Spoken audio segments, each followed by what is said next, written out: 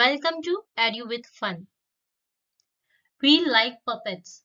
Today we are going to make a talking rabbit bunny puppet in which material required are A4 paper of pink color or as you wish, white color, contrast color, black color, scissor and glue. So let's begin and watch the video and in between if you feel where you are not getting the point you can go back again and pause it, rewind it and watch it and I hope you are going to do this well.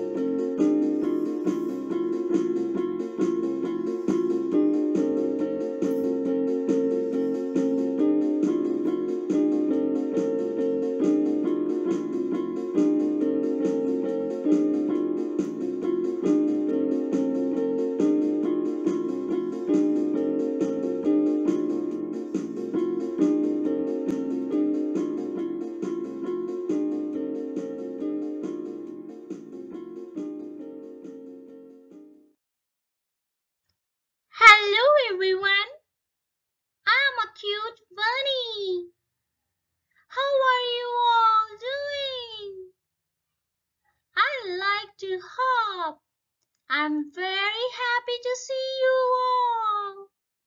I like to see you all again. Bye-bye. Wow, a nice bunny. Are you all going to make it? Good. Share with me also.